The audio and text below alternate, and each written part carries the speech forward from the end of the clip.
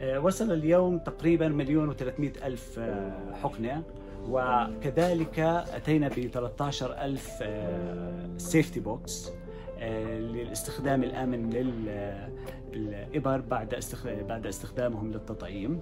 ودلالة على حسن التخطيط من اليونيسف تم طلبية الحقن بشهر ديسمبر 2020 وتم شحنها عن طريق البحر.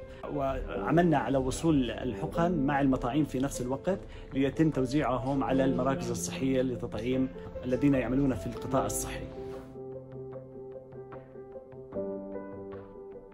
لأول مرة أشعر أنني أعمل في اليونيسف كفريق عالمي جلوبالي كل موظفين اليونيسف بكل المكاتب الإقليمية والعالمية عملوا بروح الفريق الواحد وكانوا يعملون كل ويعطون الأولوية لكل بلد.